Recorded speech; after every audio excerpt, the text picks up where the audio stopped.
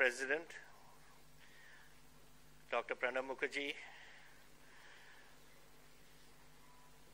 Mr. Kiren Rijiju, Dr. Karan Singh ji, Governor Natwar Professor Vishwanath Karad, and the founder, chief convener, BCS, Shri Rahul V. Karad. Ladies and gentlemen,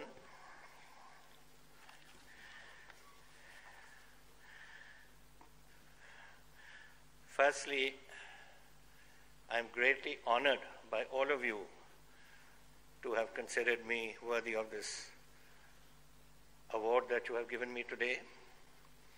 I don't know why they chose me. I think your organizers will have to tell you because I am not aware of what I have done.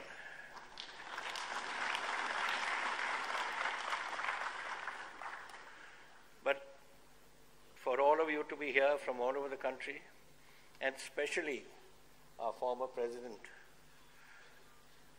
Mr. Pranab Mukherjee, I was, when I first came into parliament in 1980, that's 40 years ago today, he was the youngest finance minister of our country. And he was,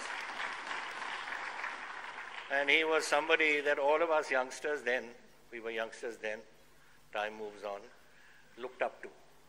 And I'm very pleased and very proud that you have found time, sir, to be here this, today on this occasion, which has been a great honor for me.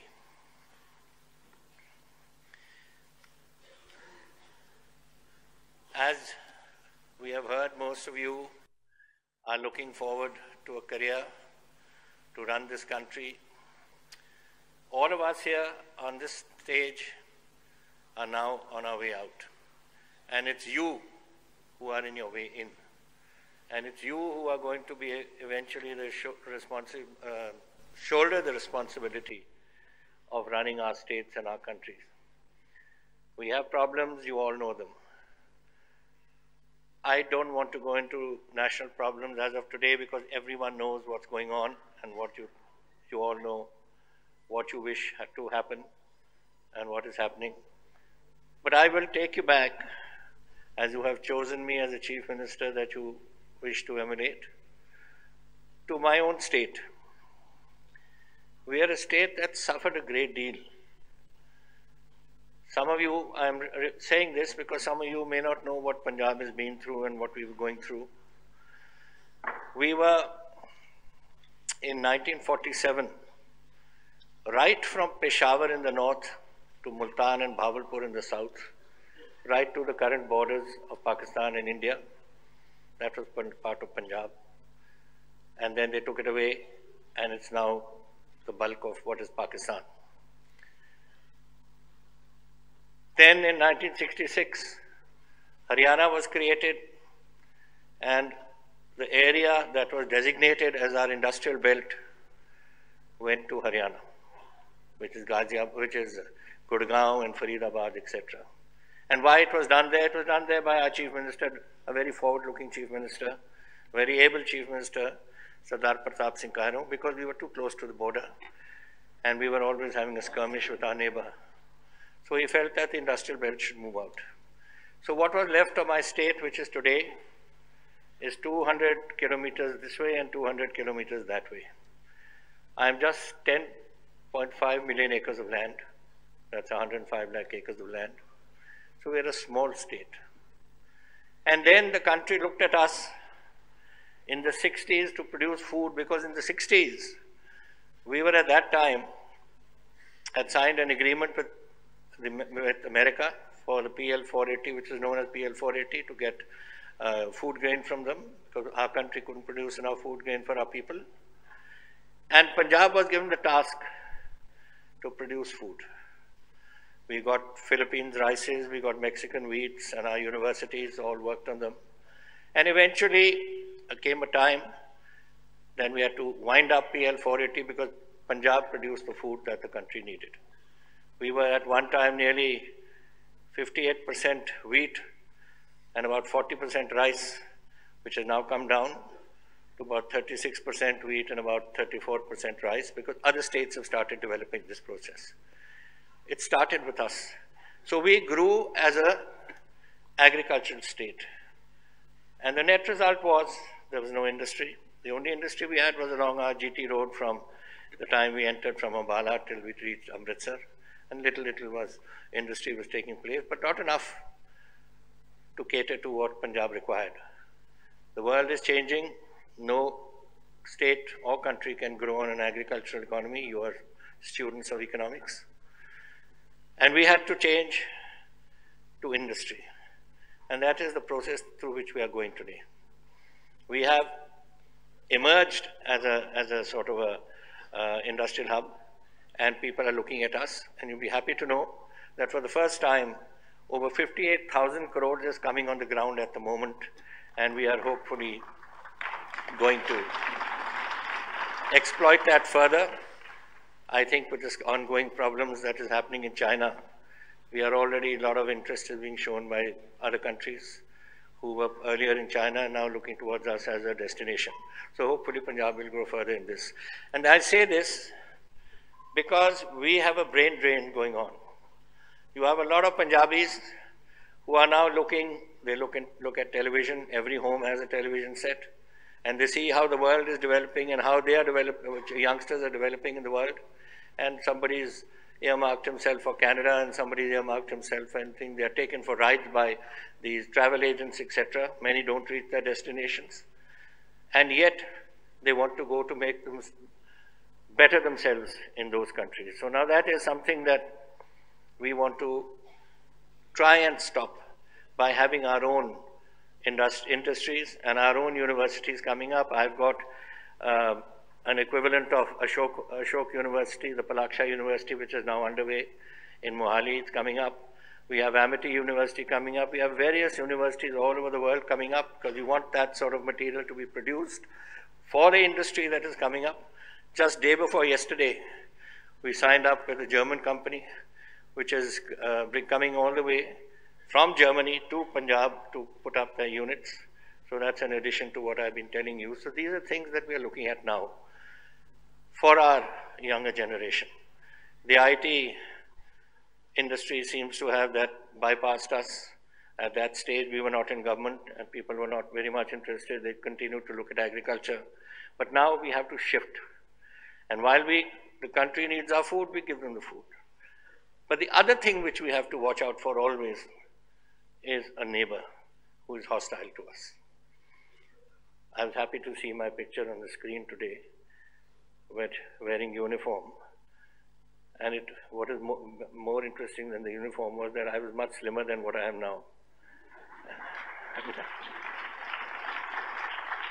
and that was something which for me has been a great experience in life. And I hope, well, you are already in universities, but some of us had the privilege of going through the finest military institutions in the country. I was three years at, very close to you, close to Pune at the National Defense Academy at Khadakwasla, and then uh, for a short while at the IMA Dehradun.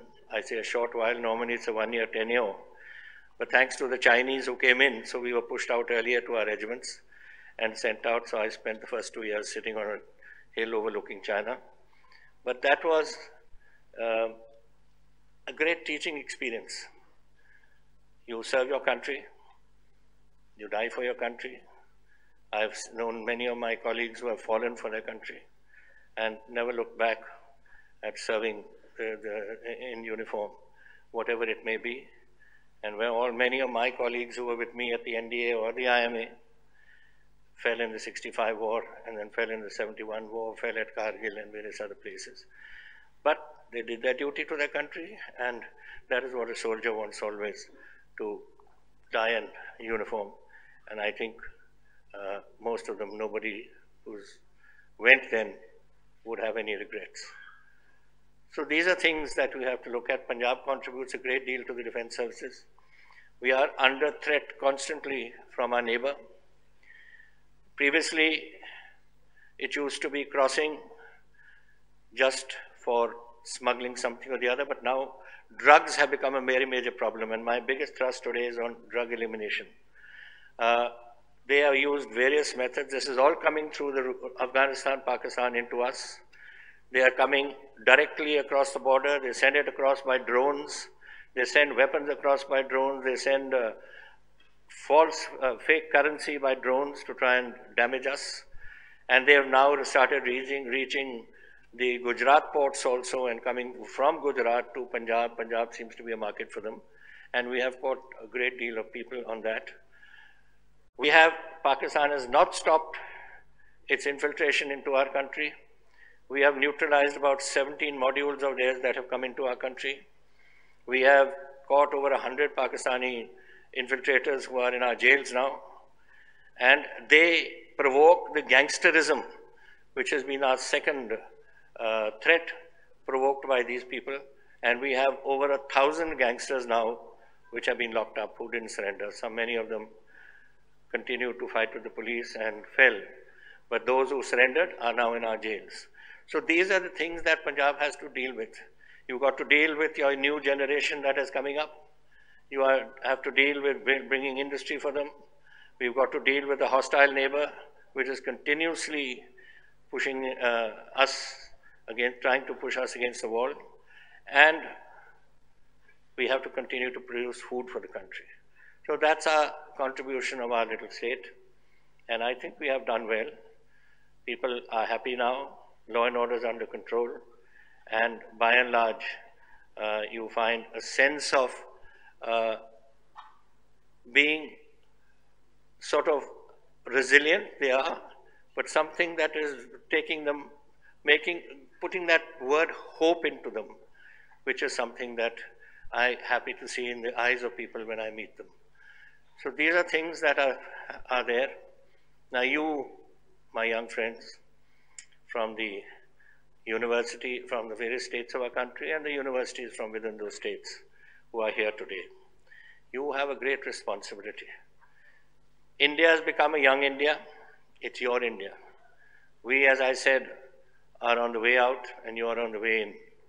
And you have to work hard. As Governor Natwar Singh ji has said, Politics is not an easy job. Sometime at 2.30 in the morning, when a drone enters Punjab and somebody is spotted it, I get a call at 2.30 in the morning. Or other incidents that take place, you're, uh, you're on duty 24 hours. It gives me pleasure because I feel I'm doing it for my state and for my people. But it is a tough job. So whatever you may do, I have been twice in parliament and I've been five times, my sixth time I think in, in the assembly. So one's been a long time there. So one has learnt the ropes. You will have to learn the ropes. Let me explain one thing to you. I first came to Parliament in 1980. That was my first attempt. And then I felt I didn't know my state well. So I thought that the best way of understanding my state is to go back into the state politics. So start with the state politics. Get to know your constituencies, get to know your people, get to know the problems of your state, then only can you effectively represent your state in parliament. So think of that because I've been through it, so I thought I should leave that thought with you. But welcome to this uh, dangal, we can call it, of, of politics. And well, I hope you have a great success in it. And as far as all of you are concerned, I hope God gives you a chance to enter into the political field so that you can serve our country well. I know the thought which has already entered many people's minds that this government, so far what we have done, this corruption business is something that is spoken of all the time. And I think that the newer generation that comes will do away with this. This is something that needs to go because you have lots of problems. People are very, very, very poor. We have in my state, which is considered an affluent state, I have 70% of my farmers who are under debt, and 70% of my farmers who own up to only five acres of land. Out of them, half of them own less than two acres of land, and we are considered an affluent state. So we have these problems, and we will deal with them, and I hope you will deal with them better too when you come into our into our field and uh, and take over the reins of our country. So thank you, thank you all for your your uh, being here today. Thank you for considering me worthy of this award. And thank you all, all of you, my young friends who have come from all over the country to be part of this ceremony this morning. Thank you all once more.